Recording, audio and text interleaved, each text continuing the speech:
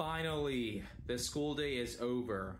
Since I don't have homework, I get to enjoy my day off. Hey son, welcome back from school.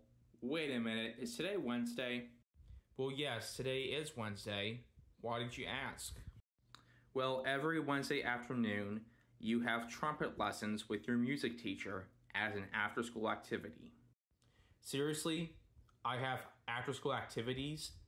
First, I have homework, then, I got after school tutoring, and then I got after school detention, but now I have to do after school activities.